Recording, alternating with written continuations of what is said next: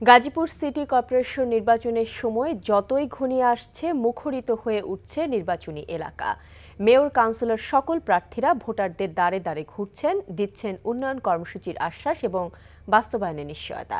ভোটারদেরও বিশ্বাস, এবার তারা যাচাই বাছাই করে পছন্দের প্রার্থীকে ভোট দিয়ে আগামী দিনের নগর পিতা নির্বাচিত করবেন। পঁচিশ মে অনুষ্ঠিত হবে ভোট গ্রহণ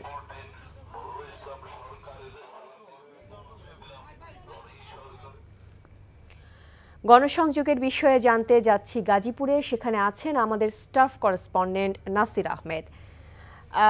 নাসির, গাজীপুরে প্রার্থীদের গণসংযোগ সম্পর্কে সর্বশেষ যে তথ্য আপনার কাছে রয়েছে, সেটি জানাবেন আমাদের।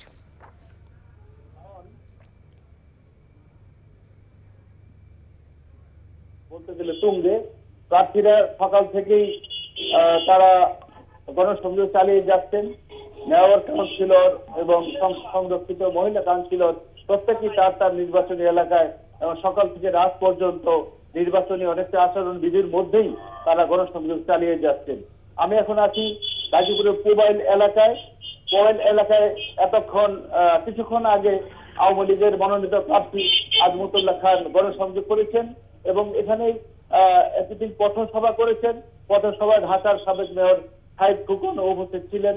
এখানে তিনি বলার চেষ্টা করেছেন যে তিনি নির্বাচিত হলে আগামীতে দুর্নীতি মুক্ত একটি নির্বাচন আগামীতে দুর্নীতি মুক্ত গাজীপুর সিটি কর্পোরেশন হিসেবে গড়ে তুলবেন এমনই তিনি প্রত্যাশা ব্যক্ত করেছেন।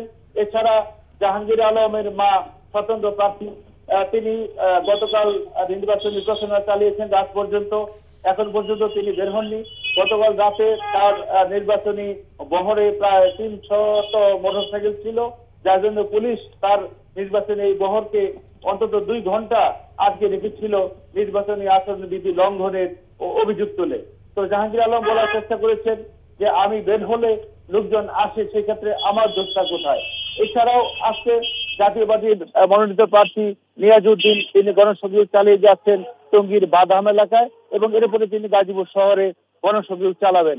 মূলত গণসংযোগের মাধ্যমে মিছিল, মিটিং এবং পথসভার মাধ্যমে গাজীপুরের নির্বাচনী প্রচার প্রচারণা এখন তুঙ্গে বলা যায়। শাওন।